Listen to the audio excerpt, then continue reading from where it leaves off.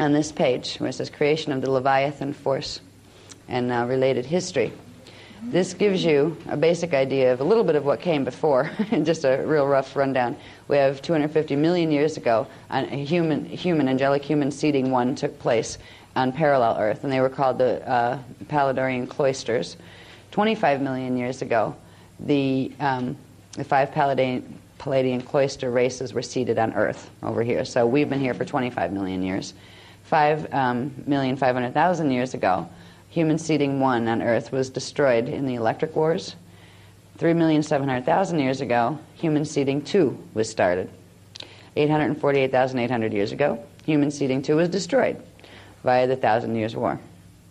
And all of these wars, guess who they were with? It's like the same beings. It was the Anu Elohim and the fallen Draconian races versus the Emerald Covenant races. And it was all about Templar quest, which is territorial quest for the stargates. But it wasn't just stargates on one planet. It was stargates in this whole 15-dimensional time matrix that they were after. Now, 798,000 BC, we had the five Palladi Urtite cloister races were seeded here. This was seeding three, the beginning of seeding three. You can read, because I'm not going to go into you know, talking just about our seedings. What I want to do is get to the Leviathan races. Just know from 798,000 BC, that was the beginning of our third seeding, and our races progressively, you know, were put here, the angelic human and the indigo races. Then, there were a couple of other things that happened where um, between 669,000 BC and 250,000 BC, there were the Rama and the Templar wars, and these were a mess. You had Anunnaki and Draconian invasions from all over. I mean, spaceship invasions. Things coming in with like uh, sonic beams, photosonic beams that could make matter dematerialize when it got hit with it. I mean, big wars, that kind of thing. Um, we had a, a race of um, pre-Leviathan fallen angelic hybrid things called the Nephedem. They were draconian, and another called the Urantia these were Jehovian Anunnaki hybrids. These were the beginning of the Illuminati races. The Illuminati races were upgraded from this point and merged with something else. Now, that I'll talk about in a minute. Um, in this period of the Rama and Temple Wars, the races, the Nephedem and the uh, Urantia races, were not able to fully procreate with angelic human races.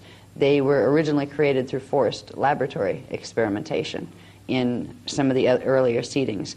And in some of the earlier seedings, in seeding two, there was an experiment done, again, a bioregenesis experiment to try to help the fallen ones, that allowed natural procreation between the angelic human races and a certain small collective of fallen ones supposed to be not, you know, wanting to get out of being fallen. And that turned into absolute disaster that's where we ended up with a seed race that went on and they took it off planet. The fallen angelics took it off planet, and it became kind of like a core genetic template to upgrade their progressive building of a master invader race. Now, we learned our lesson in seeding too, so we weren't going to do that again right away. And in seeding three, the angelic human races and the, the uh, indigo races were created in a way that they could not naturally hybridize w- through naturally procreate with any of the fallen angelic forces, which gave them protection from the fallen angelic forces. In 250,000 BC, there was a period of time where you had what are called the Pleiadian Nibiruan Anunnaki races. They're from Nibiru and from the Pleiades star system. Um, these were the guys that in, in Sumerian history came down as Enki and Enlil and Marduk. Those gods, gods, yeah, they were gods. They were race lines that when we get into the genealogies that we won't get too heavily into today, but the, these were race lines of, of fallen angelic Anunnaki races. Some of them crossed with one thing, some of them crossed with another. Um, the Enki, and and Marduk races, Anunnaki races, were considered, um, uh, what do they call them? You had the Jehovian, there, there's a name, oh, the Anu Seraphim. These were called the Anu Seraphim Anunnaki races. They weren't the original strain. The original strain were Anu Elohim out of the Jehovian crew, and they were called the Jehovian Anunnaki races. The Jehovian Anunnaki races looked at themselves as the true, pure strain Anunnaki, and they didn't like the other ones. The other ones had crossed with various ones of the fallen Seraphi, be it draconian ones or some of the things that the draconians had created. So the Pleiadian Nibiruan Anunnaki races are Anunnaki races that have um, partial Seraphi or draconian type coding. You have the uh, Enki, Enlil, Marduk groups. Um, what were the full names of those? They're in Voyagers, Volume 2. The Enki Zephelium. Okay, Enki Zephelium races, the Enlil Odedicron. Okay, so if you look at the Enki Zephelium, now Zephelium were one of the um, fallen races that are connected to the Zeta races that we talk about now. And they were a reptilian snake type cross. Okay, so they took Anunnaki, which was a core Anunnaki, was an aquatic ape. All right, that was the original form. An, ape, uh, an aquatic ape hominid was the original Anunnaki form. So you take that and you cross it with, uh, for an Enki family line, you, you, they would cross it with uh, the Zephelium. Uh, so it's Enki Zephelium. That's the Thoth line. All right. Now Thoth was a Nibiruan. Anunnaki. He was uh, an, out of the Enki family. Okay.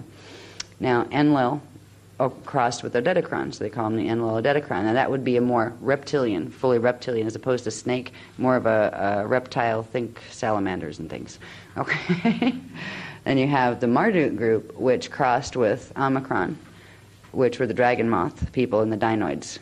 So these are the Anu Anunnaki races. And they've forever been trying to get the territory here. These are the ones that set up the Nibiruan Diodic crystal grid in 25,500 BC. But way back in 250,000 BC, they were coming in here speculating for various things. One of the things they were speculating for was gold because they had depleted Nibiru's um, resources of organic gold. Now, they use gold in a very specialized way.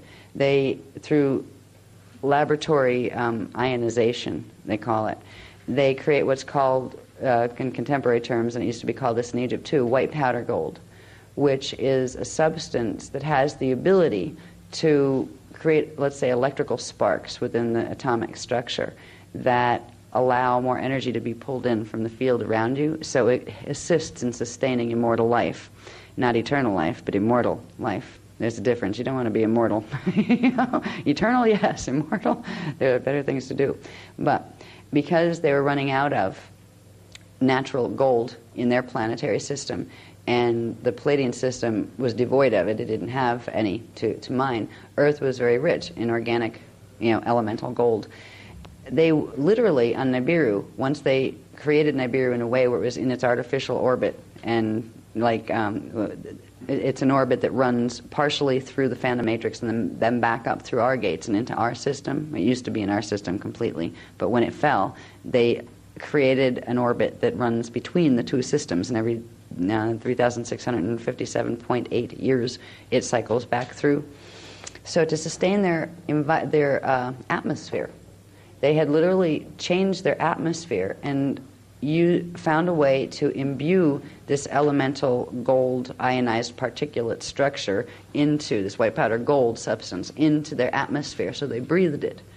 And after many generations of that it sustained the metatronic body is what it did. It helped to sustain the metatronic body. After many generations of this they couldn't survive without it. And there was all sorts of mutations happening on their planet with their peoples because they were running out of the amounts of gold needed to create this in the atmosphere. So they were on speculation journeys, trying to find places where they could rob more gold from.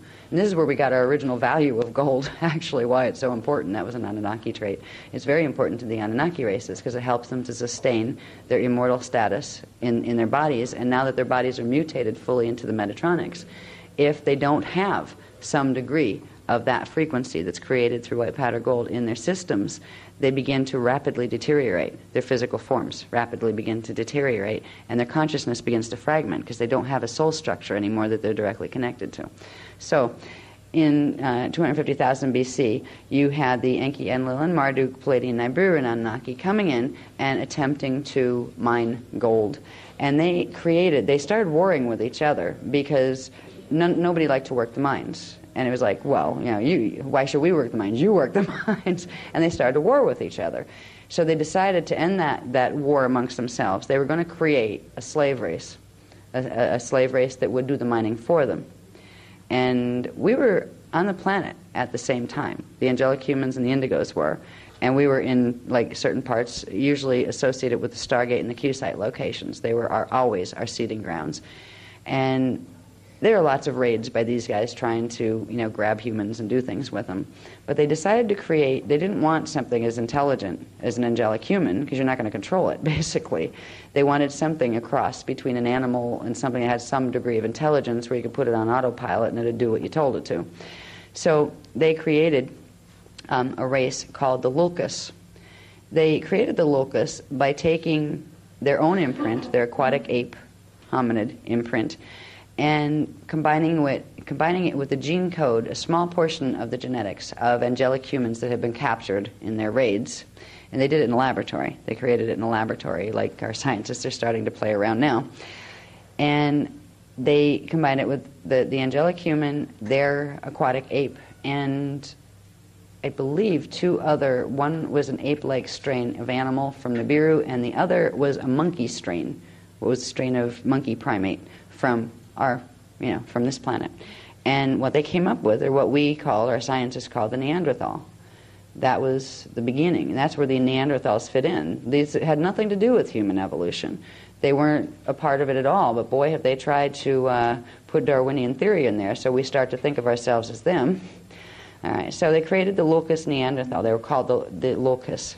They were a primate hominid slave race, and they were able to create them, and they had a, they had a certain sophistication of intelligence, even though other ways they were very um, slow-witted compared to what a human is now, even now as Homo sapiens.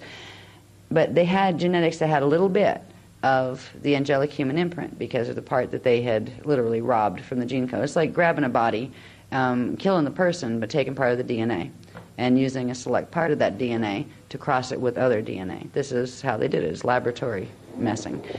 All right, so that created the slave races of the Neanderthal in uh, 246,000 BC. The, there was, uh, the, and this was like the, the beginning of a new wave of evolution after the Rama Wars and the Temple Wars, where they created a mess. I mean, there, there, was it was getting close to becoming another Electric Wars situation where everything got destroyed. And finally, there were some agreements made. And in 246,000 BC, the Maharaji, which are the blue humans from Sirius B, on behalf of the Iani and the founders, um, brought in the Emerald Covenant restatement, which was brought in the information about the Emerald Covenant again, brought in the CDT plates, and said, you know, any of you, you know, be you hybrid or not, if you want to join the Emerald Covenant, you can. So this is when we were given the last set of CDT plates, the ones that we're drawing information from now. They were given in 246,000 BC. Now, interestingly, the, all of the angelic humans agreed to, you know, yes, of course we want to do Emerald Covenant. We've always been Emerald Covenant. But the Thoth Enki Anunnaki decided to go over into the Emerald Covenant at that period. So that was 246,000 BC when Thoth, as a, a being, Thoth was a, an Anunnaki being, entered the the Emerald Covenant for bioregenesis to get their DNA template back. Now, Thoth went through, as a, as a person, went through his own levels of bioregenesis, and he did very, very well. He got up to 11 strands, but he didn't get the 12th one before he bailed out and went the other way. But the Thoth Enki Anunnaki races. They entered for bioregenesis, and there was a series of steps in this bioregenesis that was created that was taken. They wasn't all you didn't get all of the strands healed immediately. There was a progressive integration of one strand after another after another that would take place over numerous generations to slowly build up the pattern of the D12, the, the, the angelic human hybrid strand would be put into the Anunnaki strands. What it would do is you have, if you look at the strands, is one angelic human strand had all the natural mathematics of the divine blueprint that goes with this time matrix. The Anunnaki strand had it all in reversed and didn't have 12 um, let's say, um, units. Okay, so we have 12 units in one angelic human strand. They only had 11 units. The draconian ones only had 10 units in each strand. So they had to progressively, for each strand, build up a 12 subharmonic pattern where they'd get that extra back and reverse it back to its natural mathematics before they would be compatible with the frequencies in the natural time matrix, before they could run the divine blueprint frequencies again. So this was what this experiment was about. It wasn't an experiment to see what had happened. It was an experiment that was done, a healing experiment that had uh, you know, the uh, objective of healing this particular group of Anunnaki who decided to go into the Emerald Covenant. Um, in 208,216 BC, there was a ma- this was a stellar activation cycle, and consistently with the rest of our history, um, during every stellar activation cycle, there's an invasion of some sort, and there was a Drak invasion this time, and it created what was called the Fall of Brenaui. This was when literally in doing the round tables, all right, the rainbow round tables that the guardian races were always appointed to do to run the Templar here in order to, you know, uh, assist the planet in grounding the Stargate frequencies. Um, they were infiltrated and invaded, and the rounds began being run in reverse because people were careless and they, there was a lot of intermarrying between Nephedem, draconian hybrids that supposedly were being good guys now working the Emerald Covenant, and angelic human races. And angelic humans didn't realize that they were getting code reversals in their DNA template. So when they ran the rounds, they ran them in reverse. And it created, there's a major pole shift that took place in that period because, again, the gates had to be cut, uh, shut. They had to be shut, or our whole template, Earth's template, would have gone into phantom matrix completely. So in 208,216 BC is when we lost our ability to run D12 frequency because what's called the stellar bridge, which is that frequency spiral, the Merkaba spiral of the universal level, that spirals the frequency down from D12 through all the universal gates to us, it's supposed to anchor on what's called a 12 code pulse. 12 code pulse means every dimensional frequency band has 12 subharmonics. It didn't. It anchored on a 10 code pulse, and they blocked the other part out with the reversal of the round tables. So from that point on, we were like sitting ducks here because we didn't have D12 frequency available. We only had D10 frequency available. That means we couldn't reset anything with the divine blueprint without the D12 frequency to come in and reset it. So after this, the there was you know, I mean, life went on. there was a pole shift, and you know, there was a bringing the the races during these times were taken into the inner earth, like the angelic human races, and any of the hybrid races that could sustain the strand activation will be taken into inner earth, and you know, allowed to hang out there until it stabilized on the surface. Then they'd be brought back out. And the angelic humans were always reseated on the 24 sites, the 12 Q sites and the 12 Stargate sites. That was their home, and their, their, their DNA is literally keyed to those grids. So we all have literally a place on the planet that we belong to, and it technically belongs to us. We belong to each other. All right. Now, in uh, 155, wait a minute, yeah, okay, 155,000 BC. This is when um, the Anunnaki bioregenesis program begins in full. Now, way back in 246,000 BC is when to- the Thoth Enki group entered the Emerald Covenant, but it wasn't until 155,000 BC, because of all the chaos that was going on, that it actually began, where the, the hybridization program began. And the Lucas Neanderthal races, because they had a little bit of the human imprint were used as the base species for this hybridization. So the Lucas Neanderthal were combined with a pattern, a, a, piece of the DNA from another race called the Hibernian humans. The Hibernian humans had to do with seeding too, and certain races that were created through hybridizing between human and, uh, and uh, Anunnaki races. They were a type of, of Nephilim actually, Nephilim human, but they were of the ruby order that were trying to get their full imprint back originally. So, upgrade number one, they went from Locust Neanderthal to what are called the Luhari, which was Cro Magnon 1. And then in 152,000 BC, the Luhari hybrids were crossed with the Urantia Urtite cloister humans, and upgrade two was done, and they created the Iluli Levi here we get the races of Levi and such. This is where we get the word Leviathan. Now, the Iluli Levi, Cro-Magnon 2, was the first one of the hybrids that was capable of natural procreation with a human, where it could actually conceive a child and bear a living child with a human. The others were still not genetically compatible to that degree, where fertilization would most often not occur, and if it did, it would be highly mutated and it would die. You know, the, the, the child could not be born by them. This began the chaos, technically speaking, because if you now have a hybrid race, and if you get a hold of that hybrid race and you're a fallen angelic, and you know that race can now naturally procreate, all you have to do is have your hybrid race rape humans, and you will create progressively more of your own in human form. And this is what began the craziness that became the Leviathan invasion. But the bioregenesis continued for the races, the Thoth Enki groups were still a part of this. They were still you know, working with it. And the Thoth Enki groups are interesting because remember how I said before, they were the Anu Seraphim, which means they were Anunnaki combined with certain of the fallen Seraphim, which were the Draconians or the Reptilians. So they could actually, by using their DNA, they could actually allow for both Draconian races to incarnate into them and Anunnaki races. So it was a hybrid form that could be used to do bioregenesis for both fallen seraphim races like the Draconians or reptilians and fallen Anu Elohim races like the Anunnaki. That was also part of the downfall because both of them could infiltrate that race, therefore. All right. So 152,000 BC, we had Cro-Magnon II, the Iluli Levi races. From the Iluli Levi races, it went up from there. 151,000 BC, upgrade 3 was done. Iluli Levi became Iluli Judah. This is where we get the races that were transposed in our biblical text. They're not our tribes of Israel. These are the tribes of the Leviathan, and they were not part of those original biblical texts. The original 12 tribe human races were part of those original texts, and they transposed their race identity and their records into our books.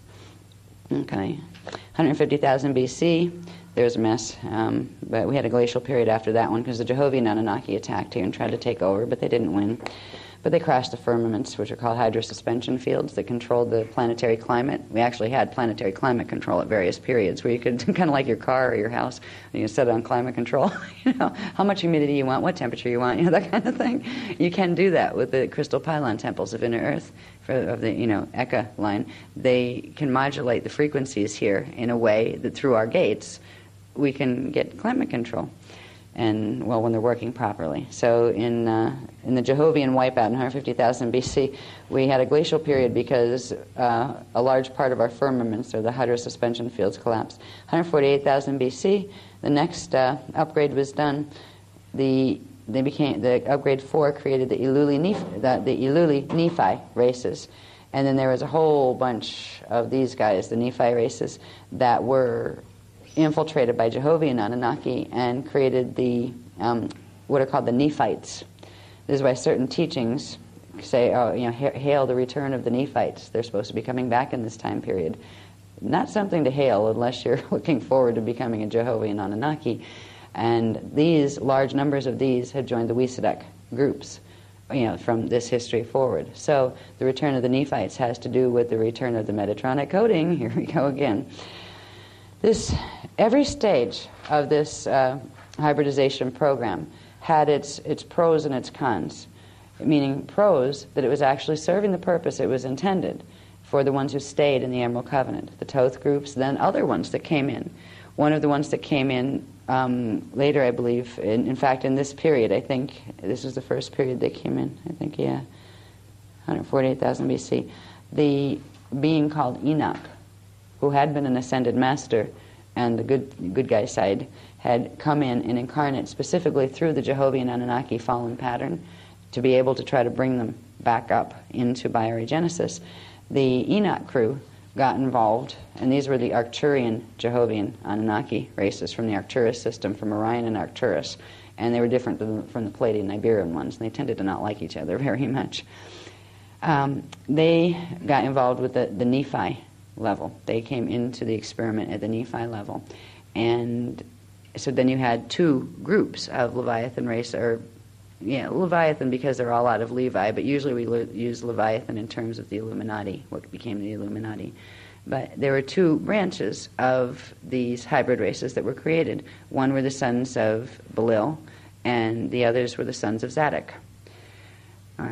And these are they were the which were the reversals of they were originally the sons of uh, Lilib, the Lilibim, which were Thoth's crew, the ones that were on the good side. And this is where you get like the Lilith mythologies that come out of that, and the um, or the Kodazim. And they actually reversed the letters once groups of them became you know, fallen. They reversed them. So you had the Lilibim turned into the sons of Belil, and he had the uh, becoming the, the sons of Zadok.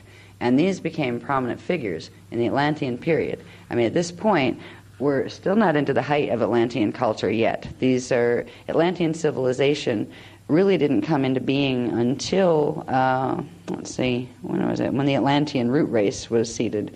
Atlantis was the, the, the place was there, the cloister races were there, but it wasn't technically called Atlantis. That was a root race. It was a smaller race than the human cloister races that were coming in. It was a you know a smaller branch of the human races. So anyway, this is the, the step-by-step process that the Leviathan or the Illuminati races were created from. They were progressively crossed, and the idea was to get them up to strand 5, where they would take the reverse 11 DNA pattern and work strand 1 all the way up to strand 5 into non-reversal through the hybridization. At that point, they could pass through Stargate 5 into the Terran time field in density 2. You could get them out of here. And they could continue their evolution from there to get the next set of strands. But all along, every step of the way, there were raider races, fallen angelics, that came in and grabbed portions of them and hybridized with them and then used them as tools to create their little armies where they would go raid other villages. I mean, it, it's still, even in our recorded history, it's classic, the plundering of one group that conquers another. They come in, they rape the women, they, you know, trash the society, they force their belief systems on them.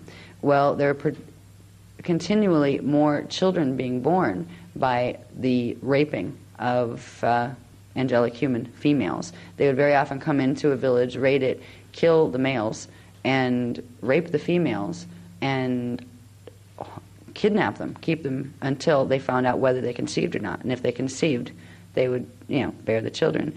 There is a big hatred vibe that a lot of women carry from being a part of that time period where they hate children and when they have their own children, they don't mean to hate children, but this emotional thing comes up where there's almost a desire to kill children because there was a violation that was done in that period, like in this you know pre-Atlantean period, where you were being forced to carry something that somebody else forced you to get pregnant with that was not going to have a human soul.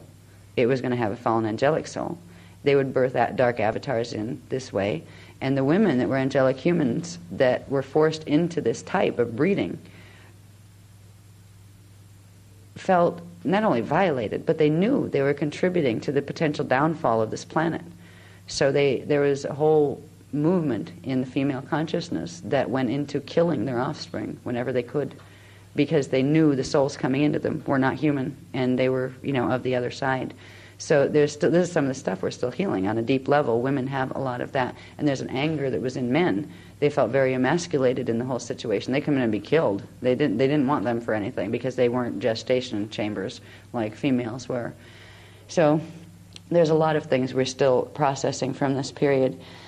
The Leviathan races, by the time um, we got up to, let me see, where, uh, the last, yeah, n- number five, uh, the fifth upgrade. The fifth upgrade didn't come until 68,000 BC. That's because there was a whole lot of other crazy things, like from 148,000 BC to 75,000 BC. That's a long period of time. It was called the Anu occupation.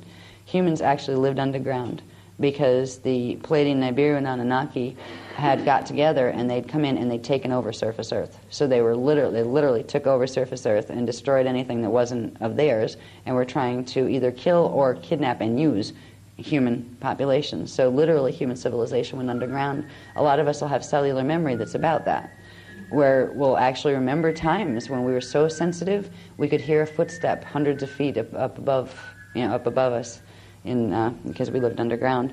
There are still many chambers that are left of the civilizations that were there. And there are other ones that were run by the, the negative ones as well, because there were periods when they went underground in relation to the dinoids, the you know, dinosaur things. But anyway, because of the craziness that took place, that's a very long period of time. This is why the Anunnaki decided they owned the planet because they come in and stole it, so they figured it's theirs. Know, that's the typical. It's really the typical thing if you look at any of the, the politics that we're in the middle of right now. I mean, they're all fighting over stuff they stole from somebody else in the first place. It's like, anyway, when we get up to um, 68,000 BC, they finally did the last upgrade, and this was um, taking them from the Eluli Nephi up to the Anu Melchizedeks. This is where they were crossed with the fifth strand. They picked up the fifth angelic human DNA strand, the cloister strand of the Melchizedeks. And this is out of these guys, they end up with the Templar Melchizedeks and the Templar Melchizedek priesthood, which is the total opposition to the cloister. Once in a while, when they decide to enter the Emerald Covenant, they actually assist, but most of the history, the Templar Melchizedeks were the ones that were the front men and beings for the Wesedeks and there was a version of them that were also in the uh, Phantom matrix. So you had a division between them. One was for the Wesedek bonding, the other Metatronic bonding. The other group of them was for the Phantom bonding. But both of them were not anything to do with the Emerald Covenant. And right now, most of the Melchizedeks on the planet, the ones that woke up first, the ones that are going around and transmitting frequency to everybody and initiating them into the Melchizedek priesthood, most of them are Templars, which means most of them are Anunnaki. So, anyway, this was the, the, the progression, and I wanted the people who didn't hear this before to understand the progression of where these Leviathan Illuminati races that we talk about, where they came from. And it also answers the question of the Darwinian stuff. Where did the you know, Neanderthal and the Cro-Magnon, where do they fit? Were these our you know, human ancestors? No, they were not. They were the hybrid ancestors. The only connection to human they had was a little bit of human genetics that was put into their pattern to assist them to evolve to a higher level. They are not what we came out of at all. But there's been a whole movement since Atlantis. It was part of the Luciferian covenant, which was an agreement made by the fallen um, Anu Elohim races, the Anunnaki races, that they would progressively orchestrate something called transposition of race identity, where progressively, using radial body programming, using genetic progressive genetic infiltration, they would transpose their race identity over the angelic human and the indigo race identity, and they would take over the planet. And taking over the planet meant bringing it into Phantom and then into Wesedek matrix. So this has been a long, long process here. This will give you some idea of how much we've all invested in this drama. There's a lot of vested interest going on here. This is why they're not going to say, "Oh, they're busted. They're you know they're they're blowing the whistle on us. They're telling on us. We'll just go away." They're not going to do that. This is the ending point of this drama and the beginning of a new series of dramas. Three new ones, in fact, three new paths of Genesis. Now, from Atlantis, I want to show you really quickly. We start with the fact that you have these races, one collective of hybrids that are being run by the Thoth collective that are Pleiadian Nibiruan, and another group that came from the Nephi level and up that were run by the Enoch group. Now, the Enoch group was representative of the Jehovian Anunnaki, the ones that considered themselves the pure strains, that they weren't mixed with the Seraphim. Then you had the Thoth ones that were the Anu Seraphim, the mixed ones. So you had four basic groups at this point. You had um, the Lilibim, which were the ones of Thoths that were still on the, uh, the Christos evolutionary path, and then you had the ones that were made uh, of reversing that, reversing the DNA of those guys. And they were the sons of Belial. And you had on the Enoch side the uh, Kodazim, which were the ones still in the Christos path, and then the Zadokim, the sons of Zadok, which were the ones who went into reversal. Now, they didn't go into reversal all at once. There were experiments being made by hijacking them at every stage of evolution. But it really came to a head where the formalization of the sons of Belial and the sons of Zadok came in the Atlantean period after 25,500 BC. It began with 22,326 BC when Thoth's group went uh, defected from the Emerald Covenant. And Thoth made deals with the Anunnaki races from um, Alpha and Omega Centauri. This is what you get the where you get the Alpha and Omega order Melchizedek races for or Melchizedeks for anybody that knows about the Melchizedek you know or um, uh, ordination systems. They say you know we are of the Alpha Omega order. You'll also find that in books like the Enoch books, you know of the Alpha and the Omega. They, when Thoth made deals with the Alpha Omega order Wesedek Anunnaki hybrids, this is when the fire sword initiations began which means this is when he allowed his hybrids that he was put in charge of their evolution and getting them back into the Christos pattern, he allowed them, without asking them, he allowed them to begin receiving the frequencies transmissions of the flaming blue sword of Archangel Michael, that D, D13 reverse current that would begin the process of reversing their whole template. That began technically in 22,340 BC, before, right before the, uh, the 326 BC, the 22,326 BC still activation cycle. That was the beginning of bringing fully into our race line the Metatronic distortion. Now, it began there. Enoch still held out. Enoch didn't defect from the Emerald Covenant until uh, 10,500 BC in something that was called the Luciferian Conquest, where he basically felt cornered because the Anunnaki of the, had, the, the Wisadics had already taken over so much here that he joined with the Thoth groups. And they together agreed to take their sons of um, Belial and create something called the Sons of Zadok from reversing Enoch's people, reversing their DNA templates, and then combining them to create a master race. And they weren't the only ones. You had draconian races trying to get on, in on the picture. It was like who can snatch whose bodies and make a new race strain out of it. And it was all geared toward, originally, they wanted to just get it done with in 22,003, 26 BC. Stellar activation cycle, we get the place into reversal, suck it down in the Wesadek matrix, and that's that have our final conflict drama because it's either going to go into Phantom or go into Wesadek. So those guys were fighting with each other. Which way is it going to go? Um, because we ended up in stalemate in 22,326 BC. We're still here to talk about it. But the history that has come since that point has been horrendous. In, after, the, uh, af- after this time frame, after Thoth had gone over and began the prying, I have to take this off. I'm getting really hot. Are you guys getting hot? Yeah, yeah, you can open the door if you want. I think it's really hot in here. Now, this is where, I brought you up to the point where this fits in. This is what happened from Atlantis. All right? You see all those lines going down? They're different race lines. This has nothing to do with human evolution. This is the hybrid evolution of the Illuminati races. Okay? Yeah it starts basically with several of the groups. Remember how we said we had the, uh, the Enki, Enlil, and Marduk groups of the Pleiadian Nibiruans? Well, each of them created a strain by raiding the sons of Belial.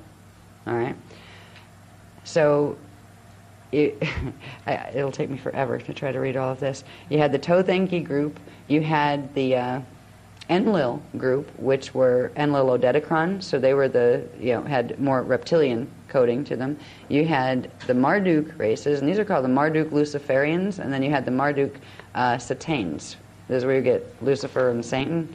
These were combined. They were family lines that combined with different things in the uh, uh, off planet, you know, in their home environments, and then took those gene codes and put them down into here, into the Leviathan races. So we ended up with a huge line of both Anunnaki. Oh, another one of them is the Sun, Samjaze Luciferian Anunnaki, which are the ones, the Pleiadian ones. So if you hear, you know, it's funny. There's, a, I think, a person named Billy Meier that's had contact with some Jazzy the Pleiadian, and she comes down in her spaceship to visit. well, guess where she lives? she lives in the Pleiades. She's one of these guys. There's uh, these were the beginnings of the primary Atlantean king lines, the Leviathan or Illuminati king lines. There were also the Drakside, or the ones that were of the, the fallen seraphim races. You had the Necromiton and Drami, which were ones that were the one of the first combined with Wesadak, where you had uh, the Andromi races that were primarily they were Jehovian Anunnaki, and they combined with the Necromiton, and I mean, they combined with the uh, to form the Necromiton. When you get into who combined with who and where'd you get Drac or where'd you get Anunnaki, it gets confusing because there were a bunch of Wesadek races that were hybridized with, like, say, Omicron Draconian, and then that taken and hybridized with Anunnaki. The more codes you could collect, the better your master invader race would be. So we ended up with a group called the Necromiton Andromi ones, the Odedicron reptilian ones that kept pretty much the purest train Odedicron ones. Some of them went went bad as far as you know even though they started out as a race that fell that didn't really mean to, some of them went into complete fall, where they began to make that choice to stay fallen. So there are reptilians that chose the fall uh, after at this point. There are also the Omicron draconians, or the dragon moths. Okay, now each of them created a whole line of beings that progressively evolved through time. There's uh, on this side when we get this chart done, there's like dates over here as to who became what when and then it shows which branched off and which combined with what to create the next level. yeah, I mean, the most important ones that I wanted to bring up here have to do with the Atlantean, the basic Atlantean king lines. There were a group, there was one, two, three, four, five. There were basically five groups that were involved with the, the Pleiadian Nibiruan crew. They were the Sathians, the uh, the Idiruans, the Lilithan, and the Azuriel. Various ones of them combined to form what became known as the Atlantean king lines. The Enlil Odedicron um, were the ones who were the Idiruans. They evolved to become the uh, Nohasa Atalan king line. So you have an Atalan king line. You will also have, as we come down, an Atlas king line, an Osiris king line, a Larsa king line. And the Larsa kings, they found evidence and lists. The Larsa king lists were tablets that were found in Sumeria. So this stuff plugs right in to the archaeological, uh, archaeological evidence they managed to uh, miss when they were doing their house cleaning in 9558 BC. Out of these lines, which it would probably take me another hour to try to go down and show you where everybody, you know, comes out. When we get down to time period, oh, Remus and Romulus are in here where Rome started. Now, on this side, anyway, I'll just show you. In this section of the, the graph, okay, coming down, like straight down from this area over here toward the middle.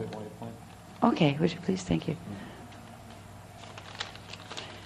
Over here, you basically have the ones that were from the Thoth lineage. And over here, you have, uh, in, in the middle, all right, over here, you have more of the Thoth lineage. Coming down this way, you have ones that were the Enoch lineage. And then over here, you have ones that were the Draconian ones, the, the reptilian and the Draconian ones. So literally, these created, every one of them, created their Antichristos king lines, They're Antichristos grail lines. And they came from Atlantis. And when they, we get up to a certain points, there's certain interesting points in history here. Let me see. I wanted to get, where's Rome? 5900 BC, that's before. 7,700 BC, where is that? Okay, in here we basically have uh, time periods such as, all right, the 9558B flood. That was a contrived flood that was orchestrated by the members of the Luciferian Covenant. The Luciferian Covenant was run by all of these guys, the Thothian uh, Anunnaki, the Pleiadian Nibiruan Anunnaki crew. And Enoch at that point had entered the Luciferian covenant, which means he brought his race lines into the Metatronic coding, and it also meant he started to participate, and his races started to participate in the attempted hijack of the planet. Part of the Luciferian covenant, which was originally uh, founded in 10,500 BC, part of that was to stage a wipeout and a house cleaning, where once certain things were done to the memory banks here, in the planetary memory banks once the Nibiruan um, Diodic crystal grid thing that was set up at Stonehenge, once that was pumping enough of the program through the grids, there would be uh, an erase time where we get rid of the history and the races, whatever races that they didn't particularly want. In 9558 BC was the period of time that they used the crystal generators because at this point we still had Atlantean technology. You had massive selenite crystal rods that were positioned under the ocean beds in various regions connected to the stargates and those kind of things. And they, they used them to collapse part of the firmaments again. And this created, it wasn't the biggest flood that's ever been here. It wasn't the great, great deluge, but it was large enough to allow for uh, created a, a, small amount of pole shift. That's where we got our, our wobble from. You know how the planet has its wobble. Well, that's where the wobble came from. It was already out of alignment from the other messes that had taken place before, but that was the last one. Now, in 9558 BC, there was uh, spaceships flying all over the place because the ones that they wanted to preserve were taken into shelter. Our guys knew it was coming and we couldn't stop it. So we literally got our, as many of the angelic humans into the inner earth as could come. And at that point, at least they had some DNA left to, to play with. You know, like right now, our, we're much more mutated in the DNA than we were at that point. The mutations had been started, but they hadn't been fully finished by then. So um, in, 9000, in 9558 BC, we had our house cleaning and our records cleaned out. Literally, the history records were taken, were destroyed, so we wouldn't have any reference. And progressively, the survivors after this point, there was still the knowledge. The Grail line, the true Grail line races and the angelic humans knew. They remembered what the history was. They, they knew the Atlantean history, and that was a problem because there were genetic alterations through the fire sword initiations that were being done on the Leviathan races that made them progressively not be able to remember anything except the Metatronic programming. So it was like their radial bodies were being plugged in and fed the CD player or the CD, you know, C- the CD-ROM program that was being run from the Metatronic WISADEC system. They were losing their memory. Their memory was being literally recoded right in their own DNA. But it wasn't affecting the angelic humans to that degree. They still remembered. They were still a problem. And they were going around teaching the Leviathan races, remembering them, helping them to wake up and remember. You don't want to do this. You really don't. This is why you don't remember. This is how it is. And a lot of the Leviathan races were coming back into the Emerald Covenant, which meant the fallen angelics were losing their foot soldiers.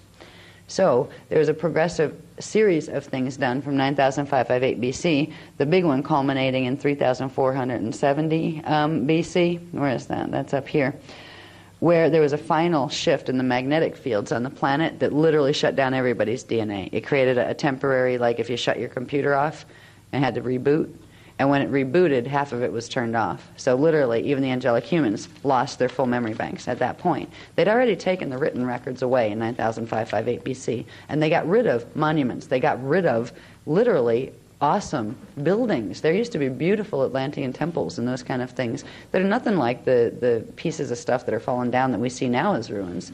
These, I mean, really, you know, there's something really been lost in the translation after the flood period as far as architecture. But that's because we haven't had the power of, say, the Ankhs and those kind of things. The Ankhs were a technology that was standard in Atlantis, and if we remember the, the, the uh, Crux Ansata field, that's formed in, with, with the Merkaba field. The Ankhs were tools that could actually generate small fields like that, so you could do all sorts of things with them. Once the flood had occurred and things were basically the Anunnaki were taking over the planet again, um, those tools were taken in, in Earth and not allowed back out here because too much damage could be done with them. So we were back on manual, where you had to like lift blocks to move them, you know, like with your hands instead of levitate them with a, with a little handy little ankh. So anyway, this whole progression, you have 9,558 BC flood, the 3,470 BC, uh, 3,470 BC. Um, we call that the uh, that that was recorded in the Bible as the Tower of Babel thing, is the Babylon massacre, because we've been babbling on ever since. That's when they scrambled the languages. That's when we lost our cellular memory, and that's when they began to really amalgamate the races, where now angelic humans didn't remember anymore that they were different. Perfect place to get the Grail lines in where they're clueless and we can direct them. So from this point on, we have been guided. We come up into more recent history. In through this period, yeah. Now in through this period, from like um, what are the dates on this? 700 and something. Actually, it starts around 11, 1100 BC. We get into like the beginning formations of what became the Roman Empire and those kind of things. These were all invader empires. The Egyptian empire was an invader empire. Pharaohs were not part of the Christic pattern. They were the Anunnaki raider races that came in here. We look and we go, oh, aren't they pretty temples and all this kind of stuff when we go over to Egypt and check out the stuff. If we knew the history on them, we wouldn't be so impressed. They're evidence, living evidence of, our, of the invasion of this planet by Anunnaki races. So in through this section, we have where the Roman culture began, when the natural people, the Stargate 5 people, that were the original Greek and Roman, you know, peoples, um, were invaded, and progressively transposition of race identity was done to them. They were either killed if they wouldn't cooperate, and they were hybridized with to progressively infiltrate the Leviathan gene code into you know, into their stock, into their genetic stock. This happened literally at different times within every culture on this planet. It was planned and it was orchestrated. And we're right now, what's on the planet is the product of this. We have the creation of Rome. Down here, we get into fun stuff where we get into like the Jesus story, and we find out that Abraham's line came through from this section over here. It was when some of the Thoth group, some of the sons of Belial and the sons of Zadok combined down here to create what was called the Hyksos. The Hyksos kings, they're also in our written history. Um, they don't know much about them, but the Hyksos became, they, they ended up doing a transposition of race identity on the Hebrew lines and also in various other ones. But Abraham was one of those. So all of the descendants of Abraham were originally Hyksos. They had nothing to, Abraham had nothing to do with the Hebrew peoples. The tribes that are listed in the Bible right now have nothing to do with the angelic human history. We've literally had an alien race come in here and transpose over our history records and our identity, mess with our DNA, wipe out our memory via the planetary magnetic fields, and literally make us think that we're their children. Our history was very different than this. So these, this chart is interesting because it shows you all sorts of things. It, it, it shows you the invasion, how the various cultures were invaded and hybridized, and their gene code progressively diluted and turned into reversal through forced hybridization with these raider races. It happened to the Celts. It happened to everybody at, a, you know, at different times. The Hindus got it in 5,900 BC. I mean, there, it was just like, if you look, like, once this chart is done, it's going to be really phenomenal. But this is what got us up to the present moment and the present predicament that we're in.